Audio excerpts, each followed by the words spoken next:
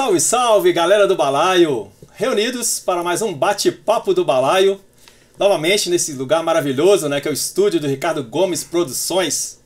E hoje a gente tem a satisfação, né, a honra de recebermos aqui para esse bate-papo ele, a paulista de Marília, é, compositor, professor, instrumentista, é. grande violeiro, Arnaldo Freitas. Satisfação demais, meu amigo. Bem-vindo ao Balaio, Arnaldo. Prazer demais estar aqui no seu, no seu programa e fiquei feliz com a oportunidade, viu?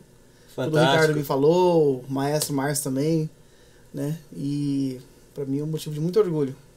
É tá te conhecendo também, um cara sensacional, viu? que massa, que massa. Igualmente, ó.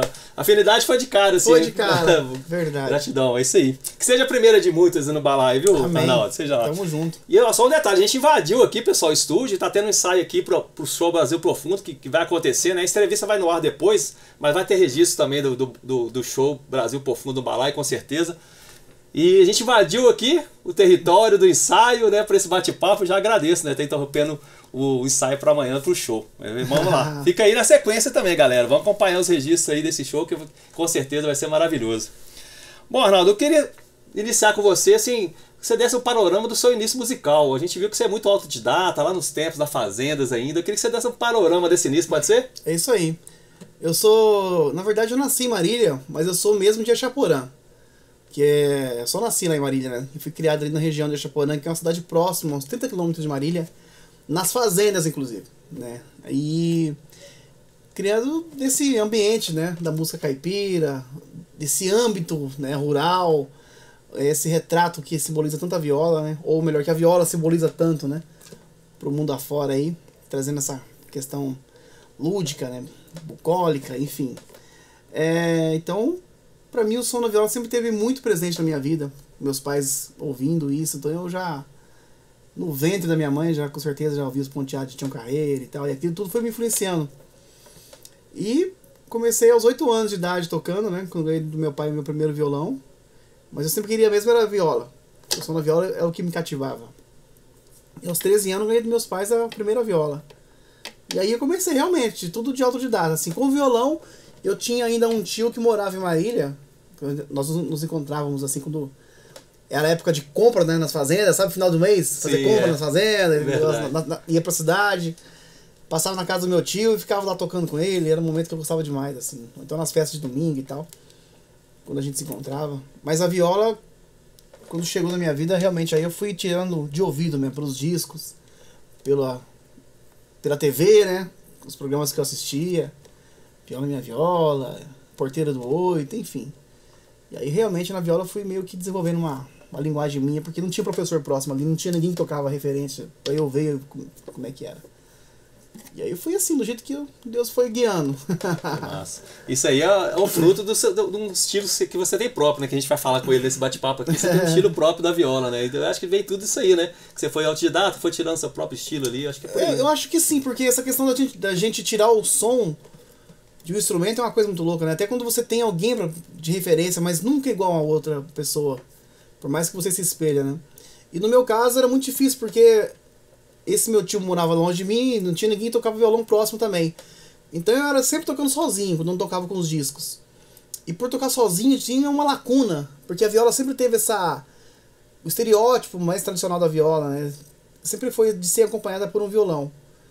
E eu não tinha violão que me acompanhava. Então eu mesmo tocava e eu mesmo sentia falta de um instrumento me acompanhando e eu mesmo fui colocando outros dedos, né, que tradicionalmente é polegar indicador com viola, né? Eu fui colocando outros jeitos de tocar pra de uma maneira despre... Suprir, né, a é, despretensiosa mesmo, não de querer criar uma técnica, nada, assim, realmente como uma criança. A viola na minha época era meu brinquedo. Que massa. Né? Então eu ia pro pomar, chupava laranja, chupava manga, comia fruta, eu chegava. A viola de baixo. pegava na viola, minha viola pendurava ela à beira, sentava no braço, era cheio de caldo de cana, coisa de, suja, né? De mão de moleque.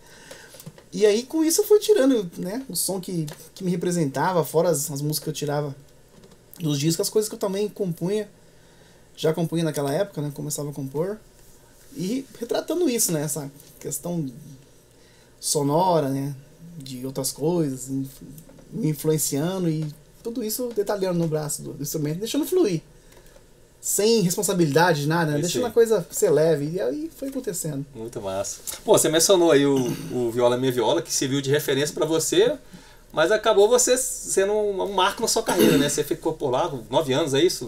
Nove anos. Eu falo dez, né? Porque teve um, aí quando a dona Anisita Barroso faleceu, teve um, um trechinho ainda assim que a gente ficou um tempo lá apresentando. Não, não quando ela faleceu, eu acho que quando ela foi no período que ela passou internada ainda, ela parou de apresentar mesmo. Mas é. Viola Minha Viola, sem dúvida, é o, é o marco da minha história. Com muito orgulho, eu digo que. É é a vitrine que todo violeiro gostaria de estar apresentando e. E foi também de uma maneira que, assim, eu não forcei, assim, uma coisa que realmente aconteceu, sabe? Por intermédio de um grande amigo chamado Marcelo Viola, que foi quem me indicou. Era pra ser ele. Faltou um músico lá no programa um dia, isso já, né, quando eu fui pra São Paulo e tal. Pra... Quando nós saímos da fazenda, cada um seguiu o seu caminho. Meu pai foi mexer com as coisas dele, meu irmão também. Eu falei, agora é a hora de ser violeiro, né? Eu tocava viola e tal. E ainda não assumia isso, porque eu era peão boiadeiro. Adorava mexer com nada. E quando chegamos né, em Echaporã, cada um foi mexer sua história. E aí eu fui levado para São Paulo por um grande amigo chamado Laércio Rabassi. E aí lá fiz vários contatos, entre eles o Marcelo Viola. Numa dessa, teve lá uma falta de um músico no programa Viola Minha Viola, e ele era amigo do Joãozinho. O Joãozinho ligou para ele, e ele não podia ir também, ele me indicou. Falou, ó, conheci um menino que chegou do interior agora há pouco aí, faz um Que pouco massa. tempo, lá de Chaporã, e ele conhece essa questão da, da levada sertaneja, da levada caipira, das músicas mais tradicionais. Liga pra ele que, que ele vai, que ele vai. Passou a bola pra mim, aí eu fui lá, gravei um programa, muito emocionado, né? e depois que acabou o programa, o Joãozinho na época me falou, não, realmente você conhece mesmo aí, ó, tem a mão, né, pra... A coisa que é sua, né? Natural aí, realmente, porque escola... música caipira é muito difícil. É, Você não aprende escola música caipira. A levada de música caipira, essas coisas, você tem que ter, aprender na convivência mesmo. né? Ele falou, então continua com a gente aí, porque aqui é um programa di- diverso, né? Eu já tocava umas coisas diferentes também e tal. Mas aqui impera aqui realmente é a questão da- das levadas aí, tra- tradicional, e a gente precisa de um músico que conhece dessa linguagem, né? Então você pode ficar com a gente aí. Você quer ficar? Que Falei, o que, que é isso? aí que foi. pergunta, né, Arnaldo? Quase Que 10 anos pergunta. mesmo. que massa, que massa. Foi uma bagagem muito grande, porque porque aquele palco ali passou grandes nomes né, Ali da, era da uma loucura. música brasileira. Era uma né? loucura, porque eu costumo dizer que aí a gente tocava, tipo, desde. Começava tocando com Liu e Léo, passava por Cacique Pajé, Irmãos Galvão e terminava tocando com Emílio Santiago, Jair Rodrigues. Então era um, era um Uma negócio bagagem assim, violenta. né? É. E a gente, como músico da casa, aquela responsabilidade de não ter que errar, né? A gente tinha que estar ali pra resolver mesmo. Então, né, pra suprir mesmo a questão de um outro, né? De uma necessidade ali dos artistas que ia de um arranjo, ah, eu gostaria de pôr uma viola aqui. Não, põe o Arnaldo, que que ele faz a viola. E gozado, eu entrei entrando tocando violão, na verdade, no Viola Minha Viola. Eu fui chamado pra fazer uma base de violão lá primeiro. Depois, com o tempo, eu não gostava de tocar violão lá, porque o meu instrumento sempre foi viola. né. Aí, o pessoal que já me conhecia antes do Viola Minha Viola, não, porque o Arnaldo tocou isso pra gente num show, quero que ele faça viola e tal. E o diretor foi vendo, e eu também já não tava mais- gostando de ficar tocando violão, violão, lá. né? Eu falei, meu negócio é viola, da viola. é, o negócio, se você continuar no violão aqui, não vou nem continuar aqui no programa. E aí o diretor um dia viu isso, depois de um show que eu fiz, com, uma apresentação que eu fiz com o Emílio Santiago. Uma história muito interessante essa, porque foi um, um rabo de foguete lá, cara. O Emílio Santiago foi tocar uma música lá que todo mundo meio que, né, deu uma atrapalhada e tal, e coisa e outra. E aí eu me ofereci a querer fazer. Falei assim, não, eu posso, fala pro produtor dele, né, que eu tava vendo que tava o pessoal meio que... Não, deixa ele fazer sozinho, tinha levado um maestro dele lá com violão. Eu falei pra na época que era o produtor, o Aloysio, falei, Aloysio, eu tô com a viola aí, cara, que eu sempre levava viola. Será que ele não pensa em colocar uma viola, não? Falei, ah, vamos tentar. Cheguei lá no camarim, Emílio falou, ó, o sanfoneiro, aí já, né, os músicos aí me achou um pouco difícil, será que... Eu falei, ah, não sei, vamos tentar, né? Aí eu coloquei umas, coisas, umas coisinhas bem básicas que eu tinha, assim, uma segurança pra fazer, sabe? Uns, uma frasezinha, eu não quis tocar muito, né? Tá louco ali? Vamos fazer o básico aqui. O cara abriu a vamos- partitura, aquele monte de formiga na folha, assim, eu péssimo pra ler partitura. Eu falei, meu Deus, o que eu fui fazer? Aí, na hora que eu senti uma segurança, eu fazia a frasezinha. Né? Aí o Emílio falou assim: Pronto, todo mundo chegou aqui pra querer tocar muito. O que eu queria era só isso aí, ó. Pronto aí. Aí. E foi um programa um pouco criticado, porque na época tinha aquele pessoal que a gente chama os- a polícia da viola, né? pegando "É, Emílio Santiago não é caipira, que não sei o quê. Então, quer dizer, eu, aí o Emílio tocando uma música com viola, quebrou aquele. Paradigma é, todo aí, né? exatamente, né? Barreira. Aí o Luiz falou assim, barreiras. cara, o seu negócio é viola mesmo, né, Arnaldo? O diretor chegou e falou assim, então a partir de amanhã você é a viola do regional do, do programa Viola Minha Viola. E no programa não existia, nunca teve viola fixa lá. Então eu fui realmente a primeira viola fixa do programa Viola Minha Que Viola legal, Arnaldo. Massa durante demais. esse tempo todo. Foi uma luta. Foi quase dois anos ali pelejando. E aí chegou nesse momento. Então eu lembro sempre dessa história e sou grato ao Emílio Santiago. Porque foi através dele que daí a vitrine Abriu a porta. abriu a mesmo. porta aqui. Como você falou, esse paradigma. Tanto pro lado dele como pro meu também. Todo mundo viu, não, o negócio dele é viola mesmo, deixa quieto. Então, fica. Joãozinho violão, Arnaldo na viola. e daí já foram É, mais aí- uns oito anos na viola. Pronto, aí pronto. Aí foi onde eu queria. Fantástico, fantástico. Bom, eu queria ouvir de você um pouquinho. é, esse curso seu online tá, tem ativo? Você está admitindo novos alunos ainda? Como, como que tá funcionando? Tá em ativa ainda. Eu, né, esse. Com o meu, com o meu novo projeto Brasil Profundo, também outros concertos, gravando, né? Então eu não tô fomentando tanto, mas o, o curso ainda tá online, ele Tá tá, online, tá ativo. tá ativo. Tem uma galera lá que tá comprando, que tá aderindo à viola brasileira. Uma técnica de picar a três dedos que eu trouxe pra viola também, aprendi coleção do Penese. E com o Rafael Schmidt também, que me instruiu, né? Que conhecia a técnica através do, do Alessandro e me passou. E aí, cara, é um curso que realmente fiquei, fui muito feliz, né? principalmente na fase da pandemia, quando tudo parou, né? Esse Sim. curso foi assim uma salvação mesmo. Né? Todo mundo sem saber o que fazer, meu Deus do céu. Todo mundo já indo para as plataformas. Eu tinha lançado ele em 2019, a primeira turma, então eu já estava engajado, né? engatilhado. E realmente foi muito legal também esse trabalho nessa época, porque tava todo mundo em casa, né? Sem saber o que fazer. E aí engajou mais pessoas ainda. E o interessante desse curso é que todo mundo que entrou, a maioria das pessoas que entraram lá fizeram história com, com estão fazendo história com a viola. Que massa. Aderiram à técnica e fico feliz demais com isso. Eu costumo dizer que lecionar pra mim não é uma atividade primeira, nunca vai ser. Eu não, eu não me considero um professor de viola. Porque Transmitindo experiências, é, né? eu transmito. Eu sou mais um mentor, assim, né? Sim, Nunca fui sim. assim um cara. Tentei uma época até dar aulas de viola, né? De si, mas realmente. Às vezes eu tava no Mato Grosso, às vezes eu tava em Minas, eu tinha que desmarcar aluno e tal, e eu- aquela coisa. Essa regra com horário, né? E, enfim, acho que tem aquele cara que gosta de fazer isso e é, e é disciplinado pra isso, né? Que prepara aquela aula toda bonitinha pro aluno no- no- na outra semana. Eu sempre fui um cara meio desorganizado com isso, assim, sabe? Eu sempre fui muito sentar, tocar, compor, fazer show, viajar. Nunca fui um cara de ficar muito. Então, o curso pra mim é bom por causa disso, porque Esse- tá lá. é, o online te liberou isso, né? Me Você liberou disso, tá lá, deixa é, deixa lá. E realmente, é um. Só me trouxe alegria e eu vejo que refletiu pra turma que aderiu. Engajou lá, tá. Tem uma turma, tem uma Que rapaziada de ouro, rapaz, fazendo história aí, tá? E faz Eu parte sou do- apaixonado com a viola. Depois a gente vai faz conversar parte da sobre turma viola brasileira lá. Mas tá assim, tá no meu Instagram. Quem entrar no meu Instagram, Arnaldo Freitas, aqui no meu Instagram, é, tem no- nos destaques lá o curso na plataforma.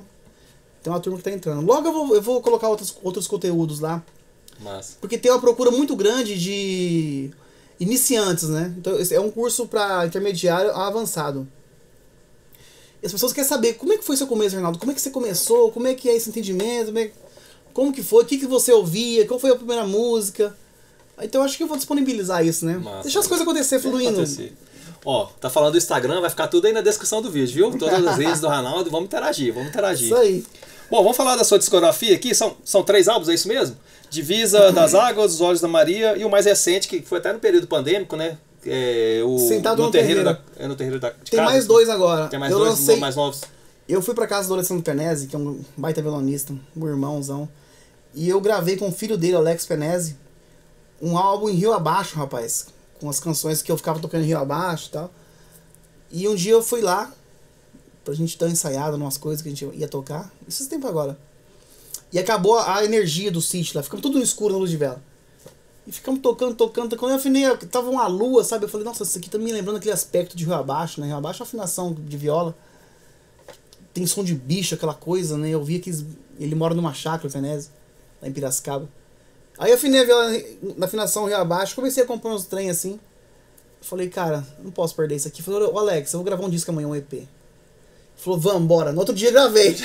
três horas foi gravado. No tapa, No rapidão. tapa, assim, fomos, gravamos. Gravei também uma música do Amir. Sater que chama é, Em Uma Pantaneira. O negócio ficando sério. Que legal. É, tem. Ah, quando a inspiração É, vem, você tem que captar logo e mandar. Músicas Né? minhas, o Alex participou.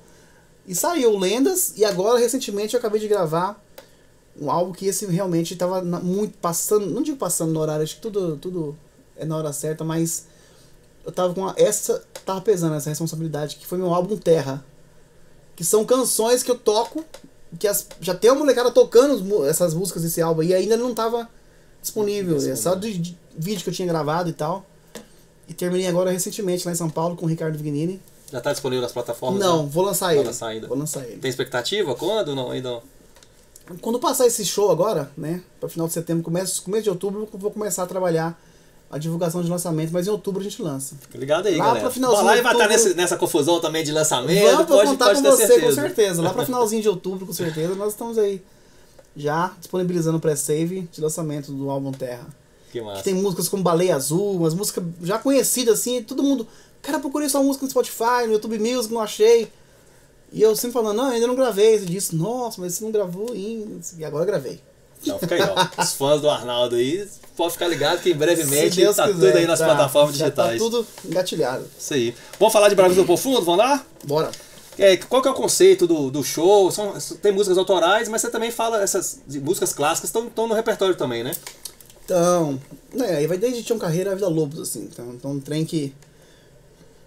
É um concerto realmente que trouxe essa essência, né, através do som da viola, que na verdade começou com minhas raízes primeiro. Eu acho que a questão minha, né, de família também que vem de ancestralidade indígena, né, que tem tudo isso. E nesse, nesse período da pandemia eu fiz, né, voltei para Chaporã, fiquei um tempo lá e fiz uma pesquisa muito profunda naquelas trilhas da época ali que é, ali era os- praticamente ali o seio, né, da tribo, da comunidade dos índios cangangues. Eu fui fazer uma pesquisa sobre isso, cara, e eu realmente algumas canções que eu componho, eu que eu componho tem essa conotação meio mantra, sabe? E fui descobrindo qual que é a origem da minha música e aí você depara com uma coisa que sempre teve ali, sabe? Aquela essência profunda, então tá sempre ligado, tá trazendo isso. E aí, com a ideia desse projeto Brasil Profundo, eu acho que é trazer, acho não é ter certeza que, obviamente, é trazer todo essa, esse resgate de nossos valores, dessa cultura nossa, né, tão enraizada que é, não tem nada de, não tem nada modal aí na questão moda, né? Coisas que, enfim, é coisas que realmente nos identifica, né, como brasileiros, como orgulho desse dessa desse instrumento que nós temos que é a viola essa nossa identidade musical principalmente, né? De falar de Brasil profundo é falar de nossas raízes, desde o início dos nossos antepassados que já estavam aqui, da mão do caboclo e lógico, me trazendo isso também tem uma característica contemporânea, mas que sempre traz essa essa nuance, né? De, de, de resgate, de ligação com um elo que nós temos aí profundo, né? Que nunca se perde, está sempre ali. É nosso umbigo, né? Que massa. Então o Brasil, o Brasil Profundo é isso, é a essência musical no palco. Bom demais. E você tá. Você tá o- é uma turnê? Você tá circulando com esse, com isso, esse show? esse ano tive o privilégio de ter sido contemplado pela Lei Rouanet com esse concerto, né? Inclusive a patrocinadora, que é a nossa, a empresa Balagro, de São Paulo, que entrou como madrinha desse projeto. Então nós estamos circulando, já fizemos um concerto em Presidente Prudente. Eu falei, cara, falar de viola num projeto desse, num concerto desse, não levar pra Minas, É. pelo amor de Deus, ainda, né? ainda Você bem, né? Ainda bem que nós somos felizados e esse show veio parar aqui em Belo Horizonte. Isso, vamos trazer aqui pra Minas. Aí depois tem um outro também que vai, ter, que vai ser em Bragança Paulista. Finalizando o ano em Bragança Paulista, Bom demais. o próximo. Isso aí. Ronaldo, vou te agradecer esse bate-papo tão massa, né? Eu acho que, a gente, acho que a gente tem muita história, né? Sentado. Sim. Bom é sentar na beira do rio, na mesinha ali, o viola. Pode Pois falar na é. cachaçinha, é bom também? Bom também, claro, com certeza. Então que a gente possa ter uma oportunidade pra gente trocar umas ideias, mais histórias, né? Com certeza, Sim. tem muita história pra contar. Mas vou te agradecer esse bate-papo super, super legal, super descontraído. Eu, Foi uma honra te receber aqui no Balaio. Nossa, que programa tranquilo. Não sei nem quanto tempo foi de conversa, mas passou voando aqui pra mim aqui. É bom demais. Você tem um astral muito legal. Que legal, gratidão. E eu fico mais uma vez agradecido né, por esse público mineiro que nos recebe com tanto carinho, cara. Parece que a gente. Geralmente eu venho aqui em Minas Gerais, as pessoas nos tratam como se a gente fosse da cozinha de casa, né? As pessoas não recebem Massa, com tanto massa. carinho, rapaz. Eu sempre tive esse, essa. Não digo sorte, porque todo mundo. O povo mineiro é assim mesmo. E eu tenho é, meus ancestrais também da parte da minha mãe, meus avós, é de Minas, Montes Claros. É um, foi um privilégio mesmo ter vindo aqui para Belo Horizonte e ter recebido carinho mais uma vez desse público que eu estimo demais da conta. Volte sempre, volte. E, e o retorno seja rápido, hein? Amém. Se Deus quiser. Vamos terminar com a música? Bora lá. O que, que você vai mandar pro pessoal do Opa, balaio? Fazendo desse estilo meu de tocar, vou tocar um trecho de uma música minha Bora chamada lá. Manara. O pessoal gosta bastante e tal, né? É um chamamé.